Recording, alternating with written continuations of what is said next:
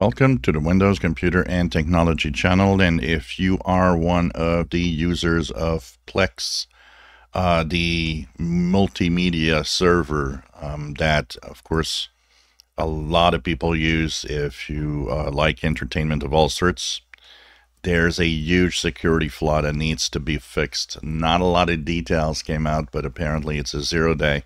It's exploited in the wild and has to do with the fact that your PC or your devices can be um, basically taken control of by um, simply a bad media file.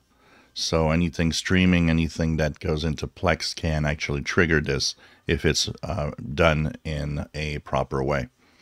So uh, the Plex media server it is recommended that you update uh, Plex even sent uh, emails to people using this to make sure that you update as soon as possible. The update was released four days ago, but it is extremely important to update uh, right now.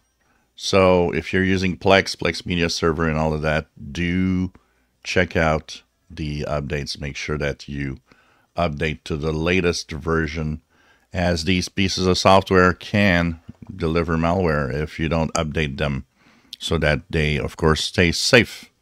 So check it out. I'll share the link to the Plex Media Server page, download page in the description below and uh, do update as soon as you can to stay safe. If you enjoy my videos, please subscribe, give us thumbs up. Thank you for watching.